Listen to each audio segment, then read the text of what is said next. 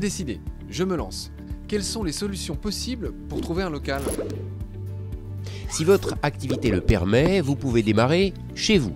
Mais vérifiez si votre bail ou le règlement de copropriété ne s'y oppose pas. D'autres solutions existent.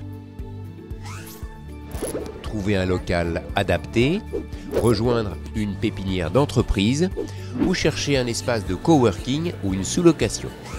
Si vous optez pour un local commercial, soyez attentif aux clauses du bail avant de signer et étudiez les normes d'hygiène et de sécurité pour votre activité.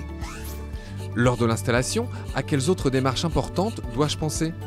Deux choses méritent votre attention. L'assurance professionnelle, même si elle n'est pas toujours obligatoire, elle est vivement recommandée. Contactez plusieurs assureurs et comparez. Second point, la comptabilité.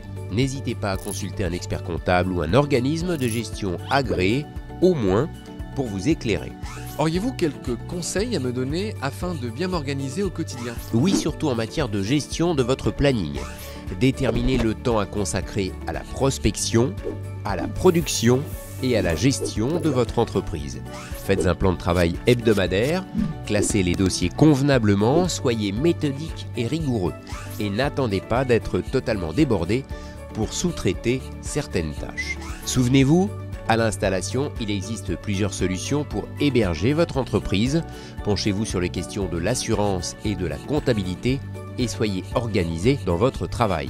Pour en savoir plus, consultez sur notre site la rubrique Installer l'entreprise.